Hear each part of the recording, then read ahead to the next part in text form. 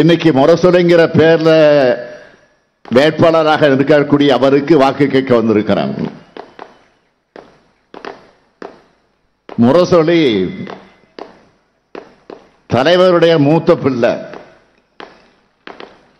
அந்த மூத்த பிள்ளைக்கு வாக்கு கேட்க உங்க வீட்டு பிள்ளையான இந்த ஸ்டாலின் வந்திருக்கிறார்.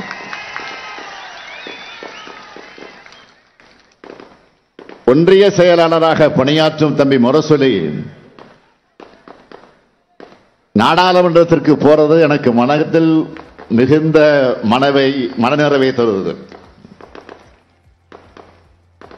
அந்த மகிழ்ச்சியோடு தான்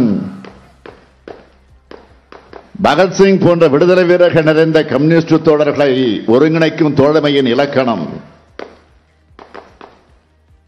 அண்ணன் முத்தரசன் அவர்களின் ஆதரவு பெற்ற இந்திய கம்யூனிஸ்ட் கட்சியினுடைய வேட்பாளரான தொடர் வை செல்வராஜ் அவர்களுக்கு கதிர் அருவாள் சின்னத்தில் வாக்களிக்கணும்னு நாகை தொகுதி வாக்காளர்களை கேட்க வந்திருக்கிறேன் நடைபெற இருக்கிற தேர்தல் மிக மிக முக்கியமான நினைச்சிடக்கூடாது. இந்தியாவில் இனி ஜனநாயகம் இருக்க வேண்டுமா வேண்டாமா என்று முடிவு செய்வதற்கான தேர்தல் இது. இந்தியாவோட மாநிலங்களை மக்களாட்சிய மத சார்பின்மைய பன்முகத்தன்மைய ஒடுக்கப்பட்ட மக்களை ஏழை எளிய மக்களை காப்பாற்றணும்னா பாஜக இன்னொரு முறை ஆட்சிக்கு வரக்கூடாது. பாஜக திரும்ப ஆட்சிக்கு வந்தா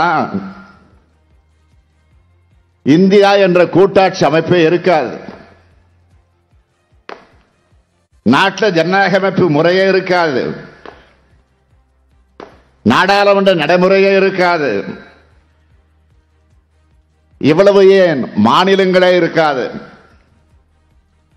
முதல்ல நாம எல்லோரும் இதை உணரணும். கண்ணுக்கு முன்னால ஜம்மு காஷ்மீர் மாநிலம் சிதைக்கப்பட்டதை பார்த்தோம். ஜம்மு காஷ்மீர் மாநிலத்தை ரெண்டாக பிரிச்சாங்க.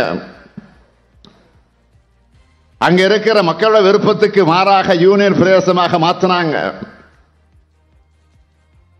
அரசியல் கட்சி தலைவர்களே வீட்டு சிறையில் அடைச்சாங்க. முன்னாள் முதலமைச்சர்களும் இதுக்கு தப்பலை. அங்க சட்டமன்றம் கிடையாது. காஷ்மீருக்கு அஞ்சு ஆண்டுகளா தேர்தல் கிடையாது. இப்போ கூட ஜம்மு காஷ்மீருக்கு தேர்தலை அறிவிக்கல. இதுதான் பாஜகவின் பாணி சர்வாதிகாரம். இந்த நிலைமை நாளை தமிழ்நாட்டுக்கும் ஏற்படலாம். ஏன் பாஜக திரும்ப ஜெயிச்சா இதே நிலைதான் எல்லா மாநிலங்களுக்கும் ஏற்படும். இது ஏதோ எதிர்க்கட்சி மாநிலங்களுக்கு மட்டுமல்ல பாஜக மாநிலங்களுக்கே ஆபத்து வரத்தான் செய்யும்.